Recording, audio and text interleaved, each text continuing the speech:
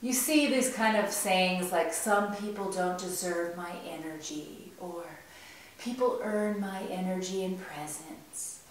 And actually, your energy is not higher than other people's.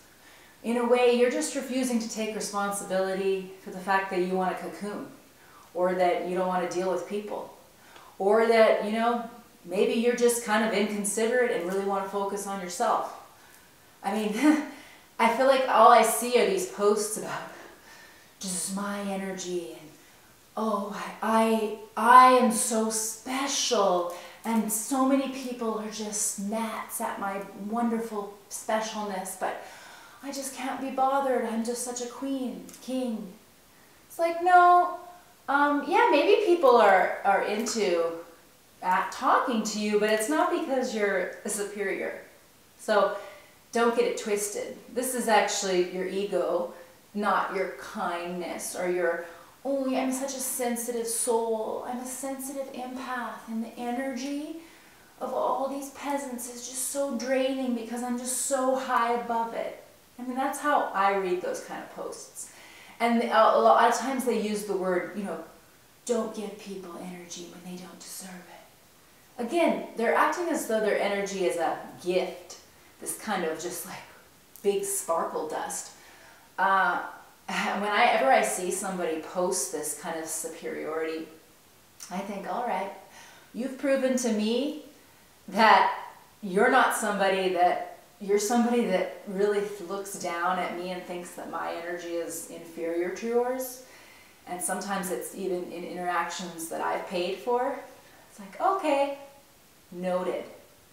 You are somebody that I will withdraw energy from because the, the, uh, the idea that everyone else is so draining and beneath you is revealing more that you aren't somebody that has enough space to be considerate of others and to actually be an empath.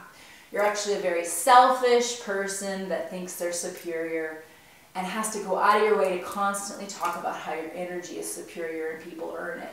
It's like, all right, then just be be alone and carry on because no one it, it's it reminds me of a stand-up comedian that keeps commenting on how people aren't laughing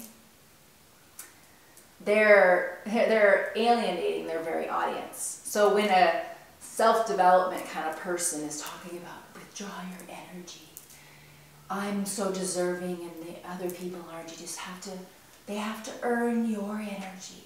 They say that.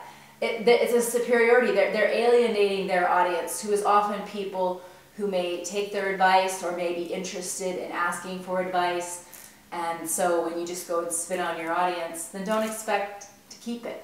Um, there's a lot of there's a lot of cruelty and this kind of egocentric nature that's masked in this I'm so egoless and I'm so I'm so live laugh love and I'm above everyone and my energy must be conserved.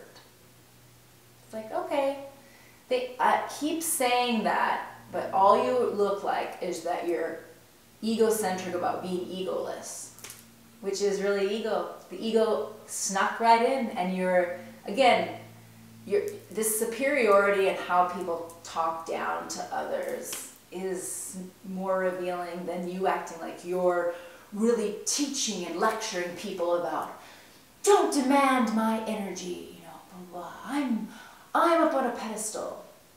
And people will say this, and I can't, I often am amazed at the gall they have to say this because especially if it's a, professional situation where people pay them, um, I did give you money as a currency for your energy. So you, yeah, honor that. And then I also will see it with people, if they have to keep insisting that their energy needs to be earned, then it must be, I don't think it's high value energy.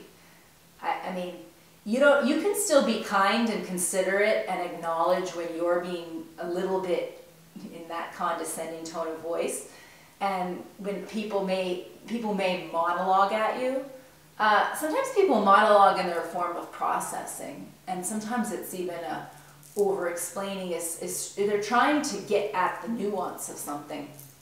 anyway, but just talk. I mean, they're not. They. It's true when these people say that they don't want anyone talking to them and that they have to earn their energy. Take that as a okay. Then definitely just don't engage with them because they're they need to rationalize a lot of their inconsiderate behaviors and they have a need to give advice and monologue for a living and yet they can't take when a monologue comes back at them that's just asking for advice that that person has often commented on, right?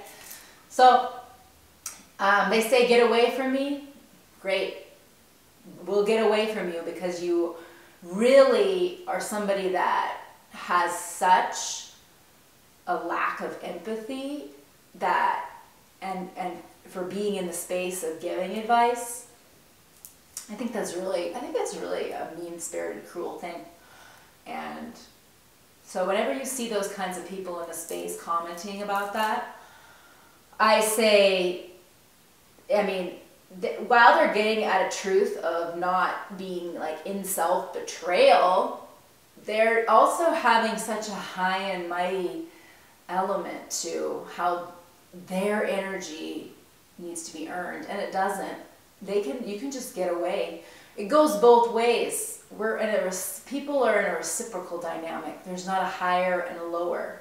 So if it has to be earned that goes both ways. And so your superiority has made you have to earn any type of connection with me as well.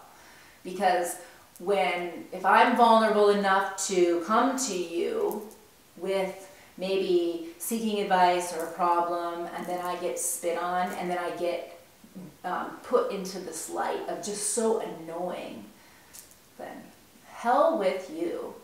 You do not. You should not be in a therapeutic self-development, self-help space, and you should not be rationalizing what is essential, essentially your need for self-involvement um, you can just own, hey, I'm a selfish bitch. Just say that. That actually might be kinder than this kind of, mm, but I'm just, uh, I, people earn my energy and I'm there. They, if they deserve it, they might get it. I, I think that is just honestly really despicable.